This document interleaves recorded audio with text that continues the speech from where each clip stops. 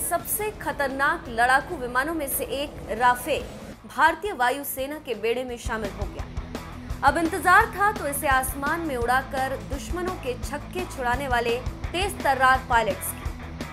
आसमान से देश की रक्षा करने की ये अहम ज़िम्मेदारी मिली है। भगवान शिव की नगरी काशी के रहने वाली शिवांगी सिंह को। यानी वो पहली महिला पायलट होंगी जो फ्रांस मेड राफेल लड़ाकू विमान उड़ाएँगी।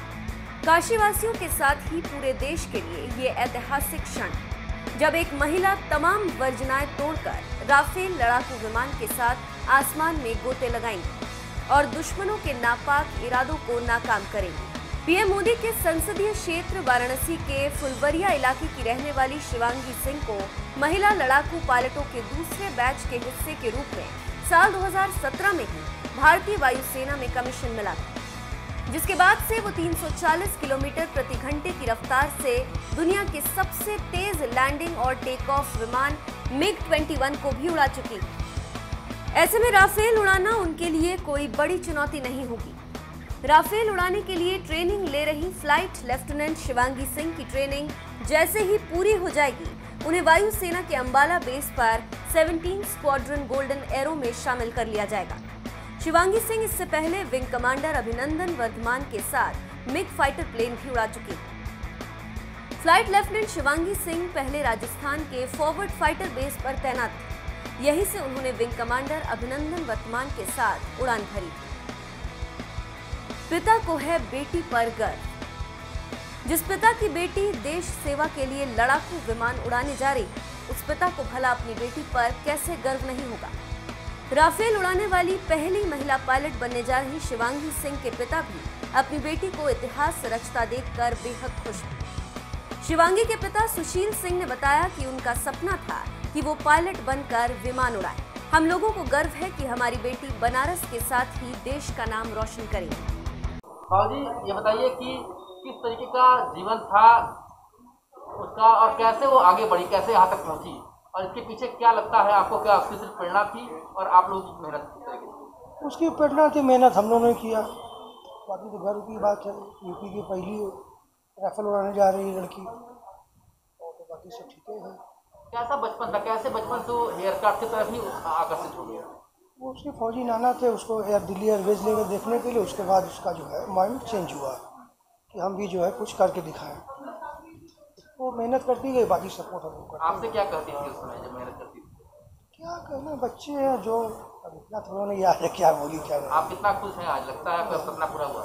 हाँ सपना तो बहुत पहले ही पूरा हो गया कल आज और खुशी हो गई इन्हें एयरक्राफ्ट उड़ाने जा रही है। बनारस हिंदू यूनिवर्सिटी से पढ़ाई पूरी करने वाली शिवांगी सिंह ने 2013 से 2016 तक बीएचयू से ही एनसीसी की ट्रेनिंग ली। शिवांगी की माँ सीमा सिंह घर का कामकाज संभालती जबकि भाई मयंक बनारस में बारहवीं के स्टूडेंट हैं। सामान्य परिवार में रहने के बाद भी आसमान की ऊंचाइयाँ छू रही बेटी की इस उपलब्धि पर पूरे परिवार में खुशी का माहौल। आज कितना बड़ा दिन है आप लोगों के लिए और क्या लगता है जो संघर्ष था वो खत्म हुआ? ऐसा संघर्ष तो जीवन में किसी का भी खत्म नहीं होता अंत तक। वो संघर्ष कर रही है देश के को बचाने के लिए अपनी सीमा पे तैनात रहेगी तो अपने देश को सभी मुसीबतों से बचाएगी और क्या। कैसा बचपन था उसका और कैसे यहाँ तक पहुँची? बचपन तो उसका बहुत अच्छा था उसको कोई चीज़ की कमी नहीं हुई उसके बाप ने जो भी उसका डिमांड था सब पूरा करते गए। पढ़ाई भी जो भी करती करना था वो भी किए। स्पोर्ट्स में वो इंटरेस्ट लेती थी स्पोर्ट्स में भी जाने दिए क्योंकि वो नेशनल लेवल तक गई है बास्केटबॉल में और जेवलिन थ्रो में। तो उसके बाद जो है कॉलेज में भी उसका परसेंटेज अच्छा था। टेंथ में भी नाइन्टी परसेंट के ऊपर स्कोर की थी। पढ़ने में काफ़ी अच्छी थी। साथ में स्पोर्ट्स में अच्छी थी। फिर एनसीसी में गई वहाँ भी उसके जो कर्नल थे सी ओ सब बहुत तारीफ़ करते थे कि इसकी तरह लड़की कोई ड्रिल नहीं कर सकता। ये लड़कों से बढ़ के है। ये लड़का हम वो कहते थे कि मेरा बेटा है बेटी नहीं है। और बाकी तो उसका अपना संघर्ष है ही। है वो संघर्ष करती है विमान जो आया है फ्रांस से उसको उड़ाएगी। है बहुत ज़्यादा खुशी है। उसको व्यक्त तो कर नहीं सकता नहीं खुशी हो सकता है। तो व्यक्त व्यक्त तो नहीं कर सकते ना। क्योंकि एक तरह से तो खुशी है तो एक तरह से डर भी है। दोनों चीज़ है ना। पहली बार कोई चीज़ नया मिग ट्वेंटी वन उड़ाई तो काफ़ी सा, महीनों सालों से उड़ा रही थी तो ठीक था कॉन्फिडेंट थी। अभी नया चीज़ है तो टाइम लगेगा सीखने में सीख जाएगी तो वो भी कर लेगी। उसका सफ़र रहा और कैसे उतनी ऊंचाई पहुँची? देखिए, सफ़र तो मुश्किल ही था, क्योंकि मेहनत तो करनी पड़, मेहनत के बिना नहीं पहुँचे वहाँ पे। और उसके बाद वो हमेशा से ब्रिलियंट स्टूडेंट ही रही है। तो हमेशा मतलब पढ़ाई लिखाई सब में अच्छी ही रही है, उसके बाद स्पोर्ट्स में भी उसका मन था।